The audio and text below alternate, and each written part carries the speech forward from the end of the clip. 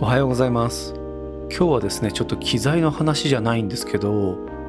今日から Amazon プライムデーっていうですねプライム会員のセールがあるんですけどちょっと驚きの価格になってたので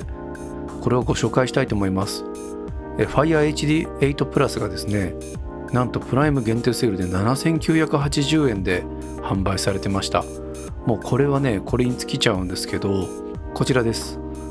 この Fire タブレットの比較で見ると7がもう3280円8が5980円8プラスが7980円で HD10 も9980円ということで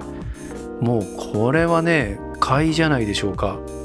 これだけ安くこのタブレット手に入るってちょっと衝撃だったので他にもねプライムデーはいろいろお得なセールがあるんですけれどもこれだけ安いとものすごい売れるんじゃないかなと思って。びっくりしまして何度かね Fire タブレットは紹介させていただいたんですけどこれはねすごいと思いますよ。ちなみに Fire タブレットなんですけど私のおすすめとしては裸で使うのがいいと思ってます。ケースに入れると重くなっちゃうんですよね。反射がすごいのでアンチグレアの画面保護フィルムは貼った方がいいと思うんですけど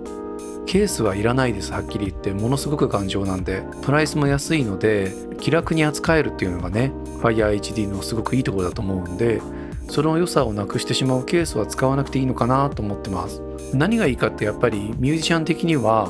3.5mm のミニジャックがついてるんですよね。iPhone とかねスマホからもうほとんどなくなってしまったんですけど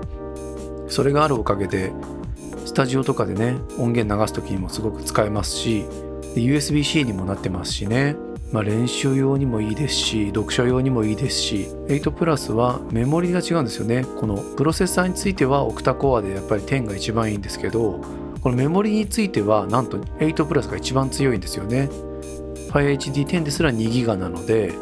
こういう意味で比べてみるとお買い得だなと思って驚きです。まあ、普段の価格だったらはっきり言って iPad 第8世代買った方がいいと思うんですよね。